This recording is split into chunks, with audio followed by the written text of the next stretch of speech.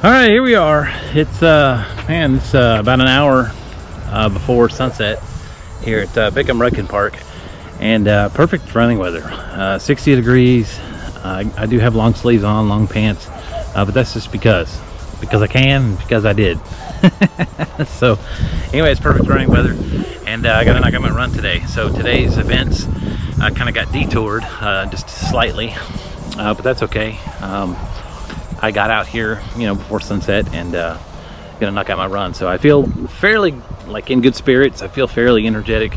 So I'm curious to see if that translates to my body uh, after playing racquetball yesterday and running afterwards and whatnot. So uh, I've been pretty good uh, for the past couple weeks, being able to play racquetball and then also run at the same time uh, and not be, you know, extremely sore or beat down, and that type of thing. So hopefully I bounce back today. It feels good. I'm gonna watch the sunset uh, go down and uh, enjoy some nature. So I better get to it. We'll see you guys after the run.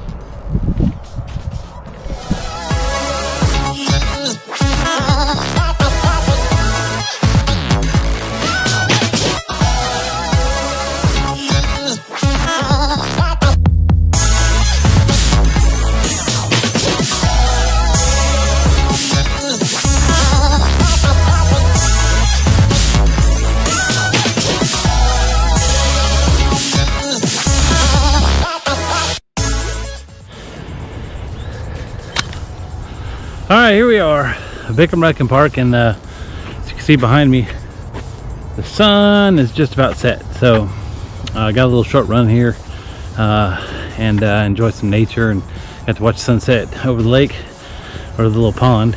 Um, all the duckies and critters and whatnot. So pretty peaceful. Little afternoon here. Just uh, just keep setting them up like bowling pins. Just keep setting them up and I'll knock them down all these beautiful days of uh, good weather. And Christmas Eve uh, and Christmas Day, I think it's supposed to be 80 degrees. So it's like we're in, uh, you know, Florida or California coast or somewhere like that um, here in Oklahoma. So feels pretty good. Uh, I'm not going to complain. Uh, hopefully it stays pretty mild all winter uh, so I can get out every day.